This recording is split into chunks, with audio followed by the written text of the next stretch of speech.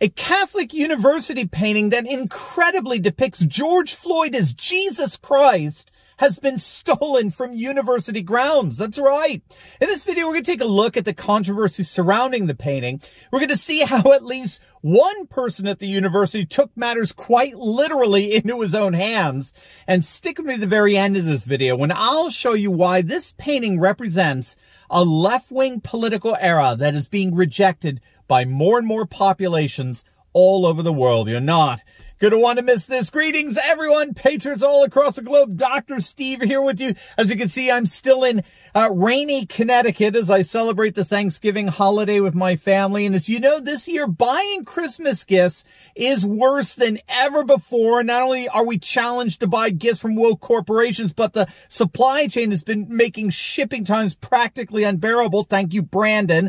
Well, guess what? If you click on that link below, those problems are gone. At Turley Talks, we know the importance importance of supporting the places you love with your dollars. So this year, Black Friday is better than ever before. We've created two incredible bundles just for you that we significantly discounted this holiday season. These two bundles are filled with everything from my books to event tickets, audiobooks and courses, and so much more you're going to absolutely love. Plus, all our shirts are buy two, get one free. It's the perfect gift for the Patriots in your life. So make sure to hurry, click on that link before these amazing Black Friday deals are gone, and let's make this the best Patriot Christmas ever. All right, gang, let's dive right in here. The Catholic University of America is turning heads of late by the fact that they both commissioned and then hung up a painting depicting George Floyd as Jesus Christ. I kid you not, this is not from the Babylon Bee. This is not satire.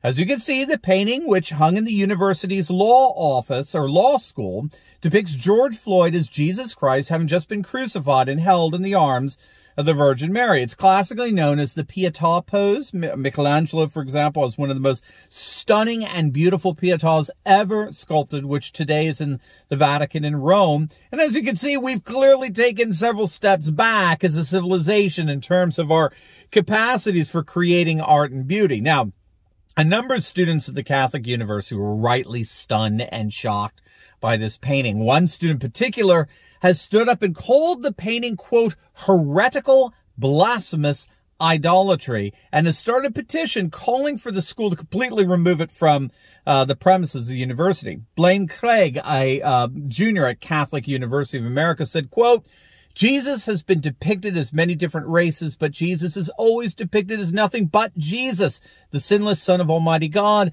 There has never, to my knowledge, been any serious, respected Catholic theologian or icon maker who's depicted Jesus Christ as another human being. And of course, that's because such a depiction would make that human being equivalent to Christ. Unfortunately, university officials are turning a total deaf ear to such demands for the painting's removal. One university official actually said, quote, there are those who would like to see George Floyd as the male figure in the icon. That's not how we read it. The image represents to our community a good faith attempt to include religious imagery on campus that reflects the universality of the Catholic Church.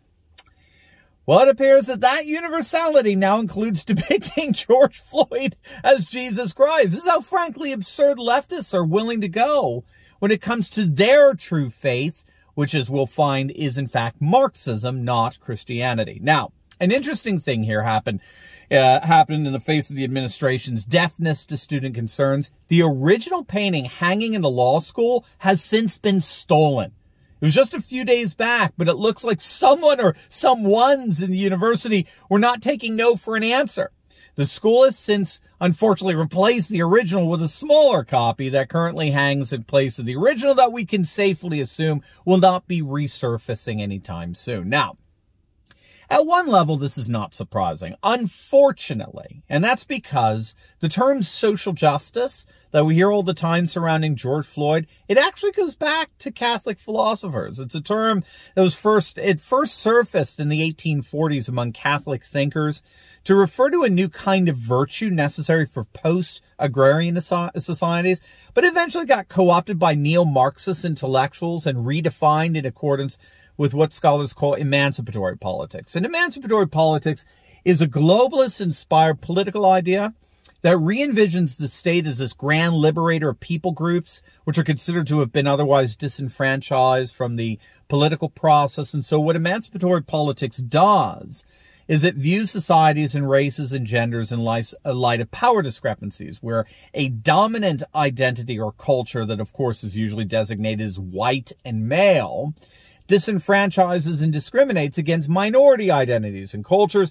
And the key here is that this is forever the permanent state of society unless or until cultural Marxist liberals come to power. So emancipatory politics is a Marxist political ideal that re-envisions the state as a grand liberator of individuals from traditions and customs that are now deemed oppressive and discriminatory. And so it's becoming increasingly clear that the combination of these two factors, the origins of social justice and 19th century Catholic social thought on the one hand, and its Marxist globalist co-opting on the other, has combined to shape the worldview of the left wing of the Catholic Church. So as it turns out, the left wing of the Catholic Church is no different from the left wing in any other modern Western nation. It's thoroughly globalist. It's thoroughly left-wing liberal. It's emancipatory.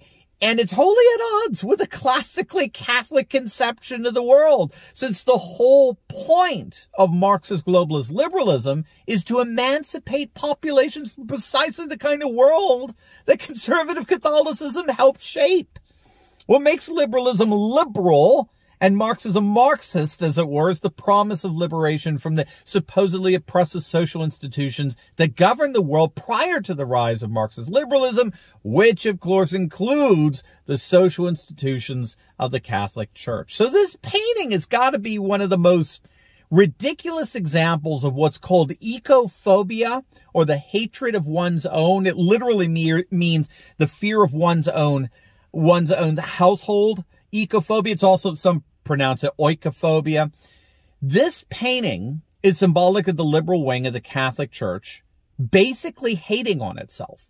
And it's so sad given that so much of the world is turning away from all this nonsense. The world is becoming less liberal and more traditionally and religiously conservative.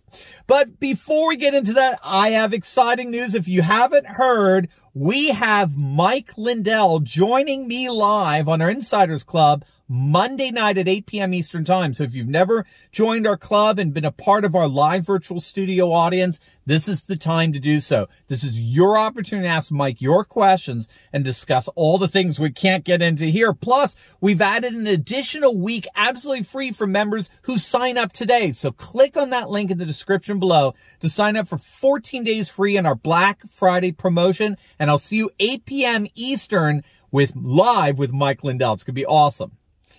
One of the major reasons why this Catholic university and what they're doing here is so ridiculous is that the world is moving away from this leftist nonsense. We did a video a few months back on how the Taliban, who've been remodeling Kabul, shall we call it, they've been painting over all these murals and monuments and replacing them with slogans celebrating the victory of the Taliban and reconquering Afghanistan. We did a video on how one of those murals that they destroyed was none other than a mural dedicated to George Floyd.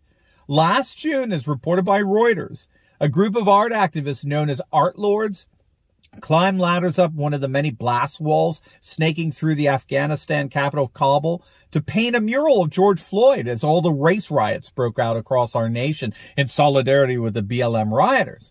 Well, the days of that kind of liberalism in Afghanistan are over. Those murals are now gone, and it would appear permanently so. The George Floyd mural was painted over by the Taliban with written messages of national unity, praise for the Mujahideen, the jihadist freedom fighters, and celebrations of their triumph against the 20-year occupation of the United States. And this defacing and destruction of George Floyd murals has almost frankly become commonplace throughout the West. And I'm not just talking here in the United States. The BBC recently reported on a mural in Manchester, England, which has been repeatedly defaced and destroyed. The Washington Post reported on the destruction of a Floyd mural in Paris of late. And of course, those incidents mirror the countless examples of Floyd murals being defaced throughout the United States. And what we're seeing here in this dialectic between painting and defacing, whether it's in Kabul or Kansas City, I would argue is the same thing.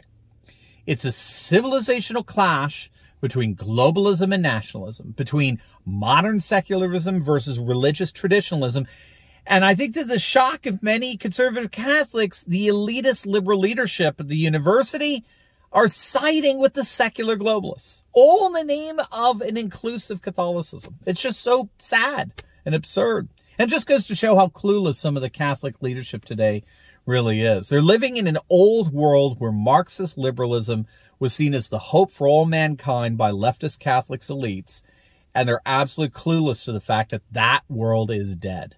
A new world of religious traditionalism is rising up all over the globe, and as things stand, that world promises to be leaving these silly institutions like the Catholic University of America deservedly behind. Now, before you go, if you want to see what a real Catholic nation is doing right now, you'll definitely want to check out my latest video on how the nation of Poland is faithfully defending its borders against a migrant invasion. It's going to so inspire you. Absolutely make your day. So make sure to click on that link and I will see you over there. God bless and a blessed Thanksgiving weekend.